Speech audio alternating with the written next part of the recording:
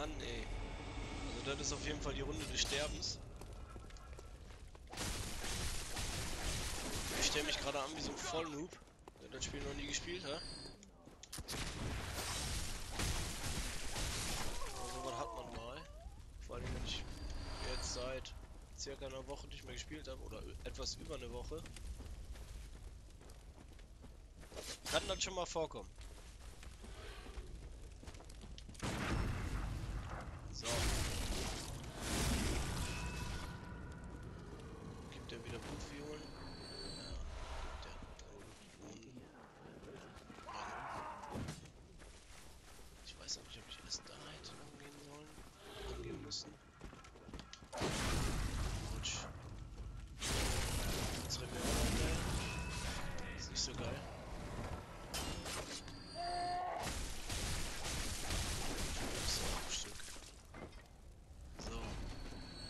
Andersrum, wenn ich jetzt da lang laufe, wäre das riskant wegen meinen Seelen, ne? Wegen meinen Akkus. Da liegt noch ein Item. Ich weiß es absolut nicht mehr. Mi. Ja gut, bleibt uns erstmal nichts anderes übrig, weil ich weiß auf jeden Fall, dass da hinten, äh, neben dem komischen, äh, äh, äh, dü, dü, wie heißt das, was wollte ich sagen? Neben dem blöden Sumpf da, Ölsumpf. Und am Ende des Ölsumpfes ist so ein, quasi wie so ein Boss, so ein mieser NPC, den kann man äh, ordentlich verärgern und dann ist das ein ordentlicher Drecksack. Vor allen Dingen da, wo der, ich sag mal, wenn man das Spiel auf gut spielen will, dann äh, ist das eine ziemlich beschissene Situation, weil man den dann da töten muss.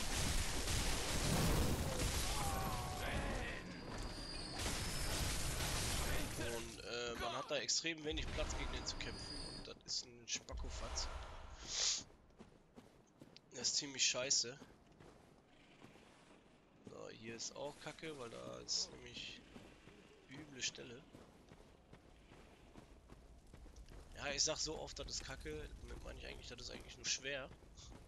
Ein bisschen hinterlistig, aber so ist Bloodborne eben. Ähm. Ja. In die Falle will ich eigentlich nicht reinlaufen. Hoppala. Gate? Ach, der ist mir hinterher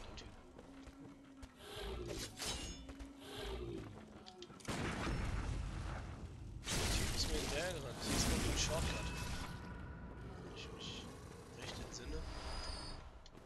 Und den kriegen wir, glaube ich, nur von der anderen Seite auf. Ja. Ah, und ich glaube, dann gibt es hier gar keine Laterne mehr. Die, die, die, die, die, also keine Lampe.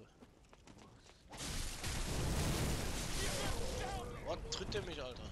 Aber nein, der tritt wie viel Schaden der macht das jetzt, ne? Irgendwie finde ich das gerade ein bisschen komisch. Oder kann ich das schlecht so schlecht einschätzen momentan? Weil ich jetzt schon länger nicht mehr gespielt habe.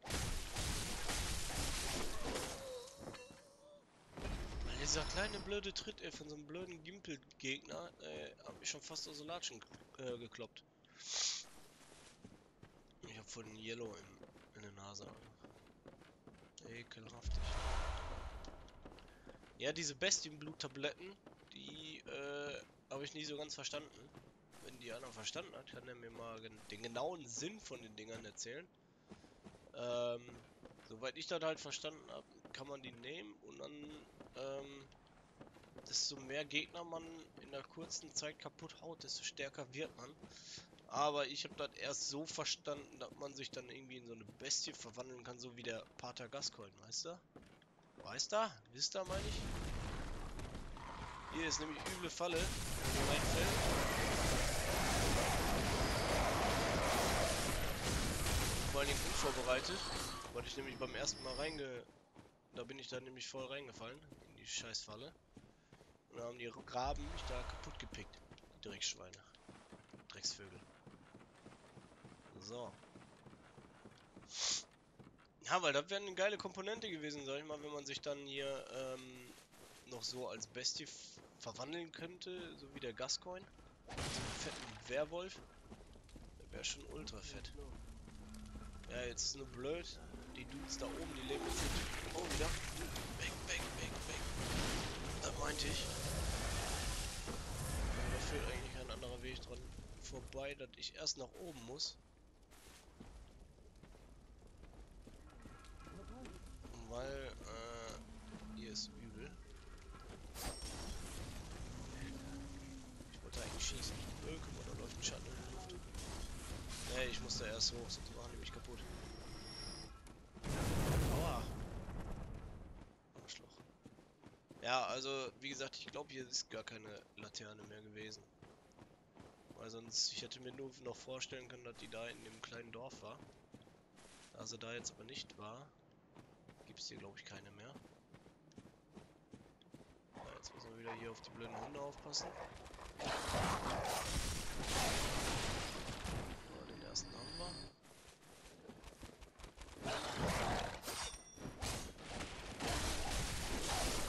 Den zweiten haben wir auch. Habe. Down. Äh, Hundis.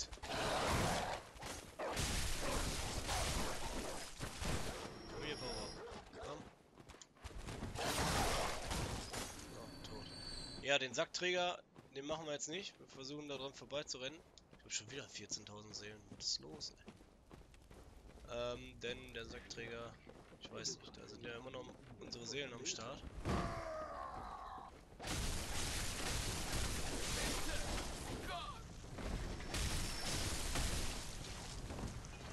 weiß jetzt nur nicht, welcher von den Dudes da unten meine Seelen hat. Echos. Echorinos. Aber da werden wir schon herausfinden, wenn wir sie alle kaputt hauen.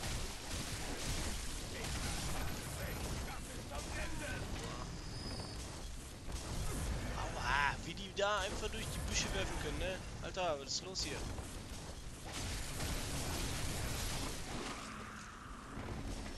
Der hat meine Seelen. Du Ficker. Wer damit? Ihr seid runtergefallen, scheiße. 65.000, ey, ohne Scheiß. Ich muss hier weg, ey.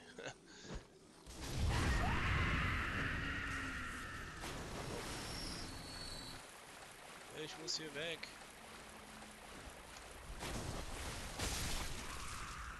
Ist ist tot. Ähm...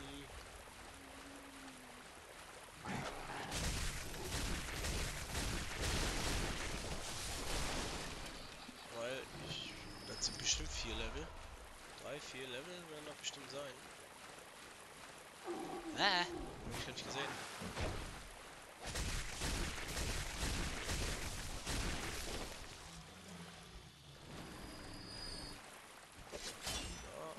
Einhand. Brauchten wir gar nicht. Ja, zack, von hinten aufgerissen. Den Arsch aufgerissen.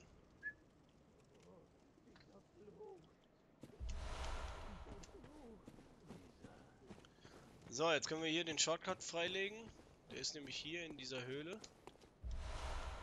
Zwillingsblutsteinscherben. Wir können auch noch unsere Waffen fett aufpimpen. So, jetzt haben wir wenigstens den Shortcut. Äh, ich glaube, ich wüsste, wo noch eine Laterne wäre. Aber da wollte ich ja eher, so weit wollte ich gar nicht hingehen. Oder so weit wollte ich gar nicht nach vorne gehen. Sagen wir so. Ich habe heute wieder ein bisschen Wortkotze. Am Stissel. Nicht wirklich geschossen. Ich glaube es nicht gut, dass ich hier mitten so im Gefilde kämpfe. Denn ich habe da gerade noch so ein bisschen was in meiner Erinnerung hervorrufen können. Dass da hinten gleich ein ziemlich dickes Bum-Bum ist. Und äh, ziemlich viel Schaden macht, wenn so trifft. Mit Bum-Bum meine ich Kanone. Die schießen nämlich mit einer fetten Dreckskanone auf uns. Wie sie so aus dem Mittelalter bekannt sind. Äh, komme ich da irgendwie rein? Ich glaube nicht, ne? Nein. Da kam ich nicht rein. Da hinten steht sie nämlich schon. Da müssen wir jetzt nämlich erst einmal vorlaufen. Da ist sie. Aua. Aber das Coole ist, wir können damit auch ballern. Jetzt gestackert. Ah, Feuer! Aber ist nicht so cool. So, die Spackos stehen auf. Ist dich doch. Aua.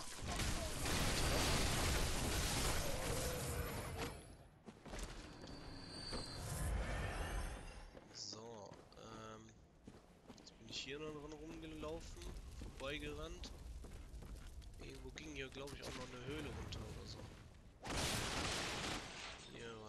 Geheimgang. Dann kommt man rein.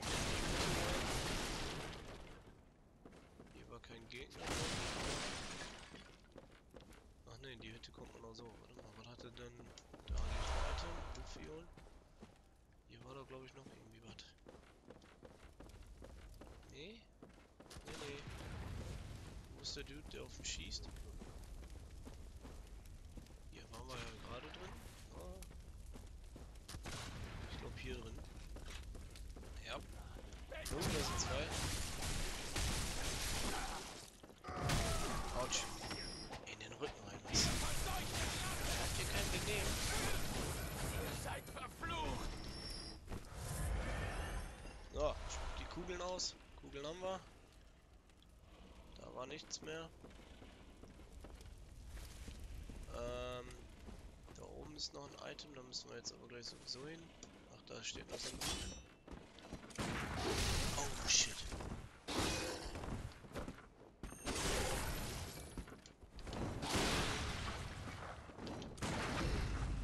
So. Drei Kugeln für einen so einen Kopf, Alter. Ich glaube, ich stehe im Wald. ey. Bestienblut-Tabletten. Also wie gesagt, habe ich, habe ich mal ein paar Mal benutzt. Habe ich nicht ganz verstanden, weil ich doof bin. Na, ihr kennt das ja mittlerweile. Ich bin nicht so gerade der intelligenteste. Aber mein Gott. So ist das eben. Dafür sehe ich gut aus. Ne? Ähm, ja, wie gesagt, wenn ihr mir da ein bisschen, ob da noch ein versteckter Hintergrund ist oder ob man sich wirklich noch irgendwie verwandeln kann oder was, dann äh, schreibt mir das mal bitte. Da würde ich nämlich gerne wissen. Aber ich glaube eigentlich nicht. So, jetzt wüsste ich, hier wäre gleich eine Laterne. Das weiß ich, da unten irgendwo. Aber äh, dafür müsste ich erstmal da runtergehen. Der Dude, der da unten so gemütlich langläuft, der ist ziemlich scheiße. Der ist richtig kacke, weil der macht so einen Anschein, als wenn das nur so ein kleiner Gimpel-Dude ist. Und dann wird er euch voll in den Arsch schicken, weil er ziemlich asozial ist. Er ist nämlich sehr kräftig und macht Giftschaden und äh, das nächste Gebiet ist, ist sehr ekelhaft. Weil da kriegt man dann auch wieder überall Gift. Boah.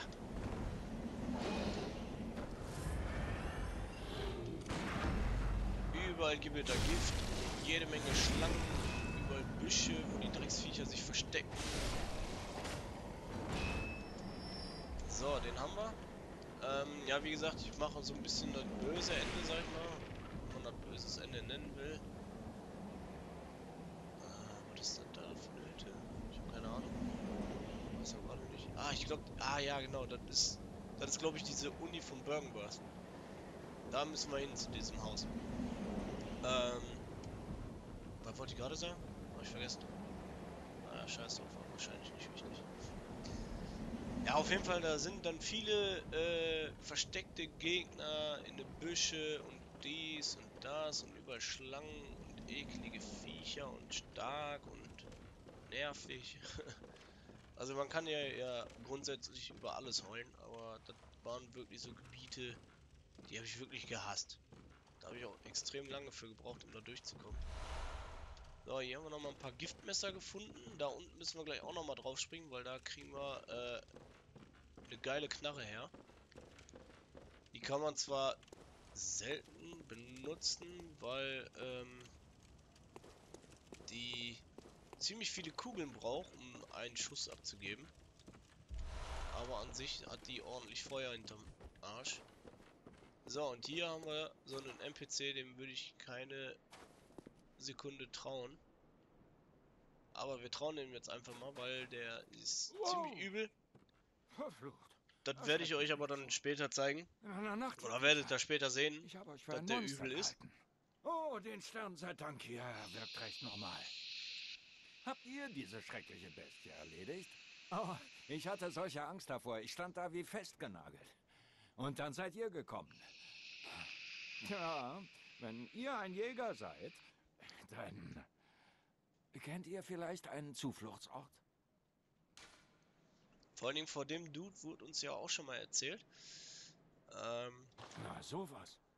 Danke. Es wird Zeit, dass ich etwas ändere. Ich kann nicht allein hier draußen bleiben. Oh, ihr habt mir Hoffnung gemacht. Das ist schrecklich nett von euch. Nehmt das. Mehr kann ich als Dank leider nicht anbieten. äh, so, auf jeden Fall. Den Dude, den müsst ihr euch mal ein bisschen im Hinterkopf behalten. Das ist der blinde Mann. Vor dem wurde uns schon gewarnt. Ähm, jetzt könnt ihr euch mal hier so die, die Gegend angucken. Warte. Ah, da kommen wir später hin. Ja, auf jeden Fall hier auf diesem Dach. Äh, äh, das müsst ihr euch auch mal ein bisschen merken. Hier hätte man dann gegen den kämpfen müssen. Aber das werdet ihr später sehen, zu was das der Dude da, der NPC, ähm, in der Lage ist. So. Aber das, wie gesagt, ja, hier haben wir die Kanone gefunden. Die Kanone ist sehr geil, aber macht jede Menge Schaden.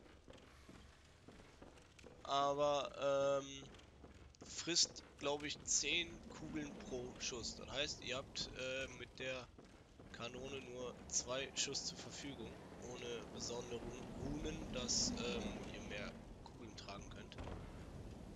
Und äh, finde ich ein bisschen mies. Ansonsten ist sie nämlich ultra fett. So, jetzt gehen wir mal hier runter. Gucken mal, wo der Typ sich hier versteckt hat, der hier gerade lang gelaufen ist. Da unten steht er. Äh, hier war glaube ich keine Items mehr. Nein. So. Der Typ, der ist jetzt ziemlich gemein. Ich versuche mich mal an den Rand zu schleichen und von hinten zu staggern.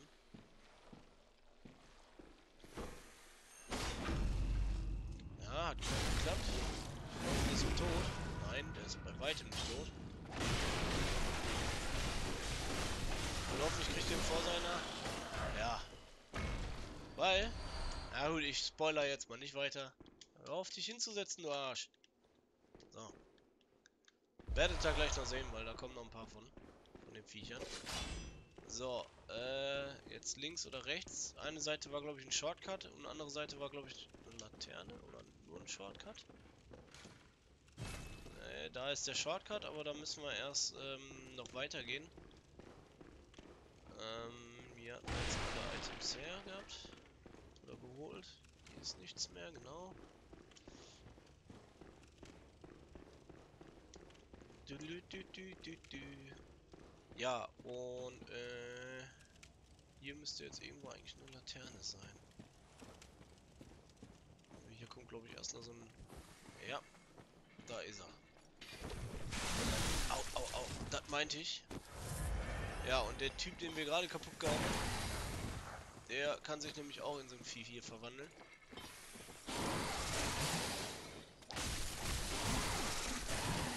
Macht mir scheiße viel Schaden.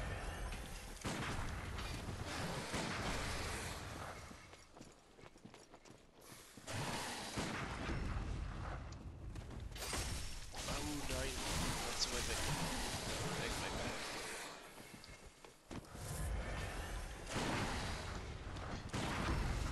Oh, das war knapp, ey. Ich hab gedacht, der macht mich jetzt kaputt. Ah. Gut, da haben wir. Also die sind echt übel. Also mit denen sollte man echt nicht äh, spaßen. Und Scheiße bauen. So, jetzt möchte ich aber langsam wirklich mal eine Laterne haben, weil äh, wir nähern uns den 80.000 äh, Seelen und ähm, wir nähern uns auch dem Ende der Aufnahme. Und, äh, ja. Dafür will ich doch gern noch eine Dings haben. Die Laterne. So, fahren wir mit dem Aufzug. Dann, genau, dann sind wir direkt an der Laterne. So, Aufzug, jetzt habe ich es wieder. So war das. Gegengift. Und der Typ ist auch cool. Ah, und ein fähiger Jäger, wie es scheint. ich bin Walter, Meister der Liga.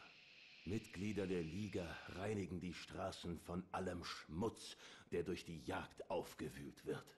Wie es jeder halbwegs anständige Jäger tun sollte.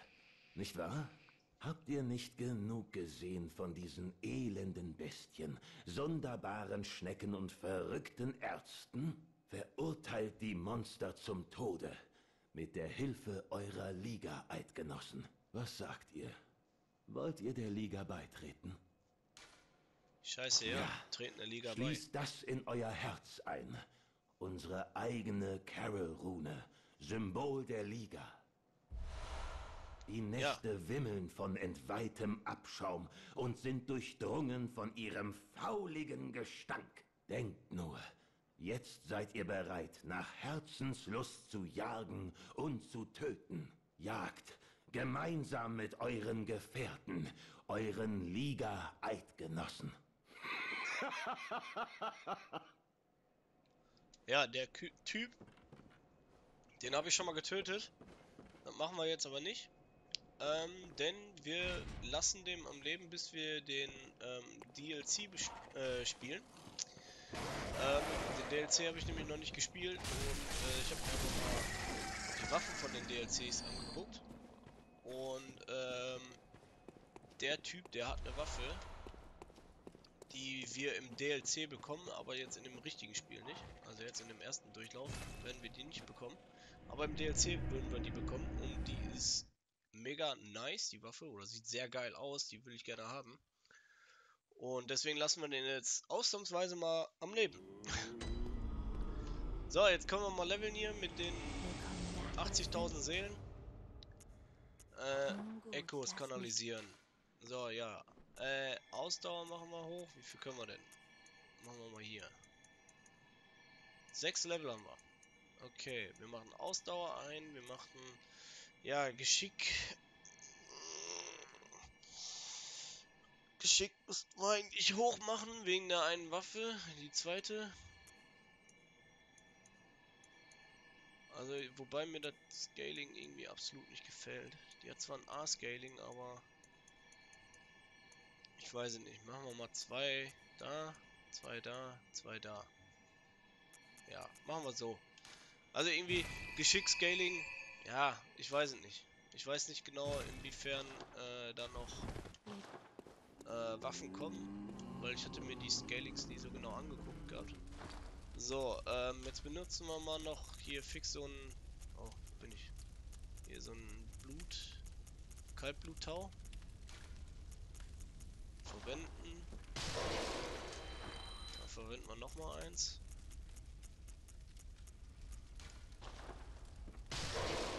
So, sollte reichen. Äh, Waffen verstärken. Wir verstärken unsere Klinge. Äh, 5 Zwillingsblutsteinscherben. 10 Zwillingsblutsteinscherben. So. Mehr können wir nicht machen. Blutsteinverstärkung. So, jetzt gucken wir mal hier, was wir hier noch haben. An Verstärkung haben wir nichts Neues, was uns irgendwie Power ge geben würde. Als Dreieck haben wir auch nichts Besseres. Hier können wir noch ein bisschen was machen. Haben wir da schon irgendwie einen Feuerblutstein? Nein. 34, 34, 39 und der gibt langes Gift. Das ist ganz cool. Äh, Stich. 42. Naja, machen wir den mit 39 rein. Den hier. Gut. Jetzt können wir auch das Ding nochmal, glaube ich, aufpimpen. auch schon alle drin. Ja, den müssten wir auch nochmal verstärken. Geht das? Ne, brauchen wir auch schon Zwillingsblutsteinscherben. Weil den brauchen wir auf jeden Fall für den nächsten Boss. Ähm, wo haben wir denn die Karüllrüne, Rune? Da, Unheil, genau. Maximal 2 GP im Koop bringt mir jetzt zwar nichts, aber äh, wir machen die trotzdem mal rein, weil die an sich nichts zu bedeuten hat gerade. Ähm, welchen müssen wir denn jetzt hier rein? Verbotener Wald. Da waren wir, glaube ich.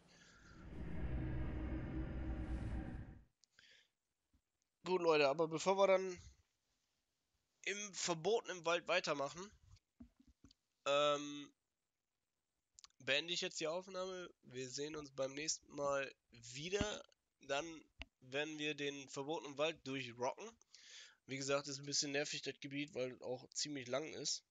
Und ähm, wahrscheinlich werden wir dann bei den nächsten Aufnahmesession auch schon ähm, den nächsten Boss sehen.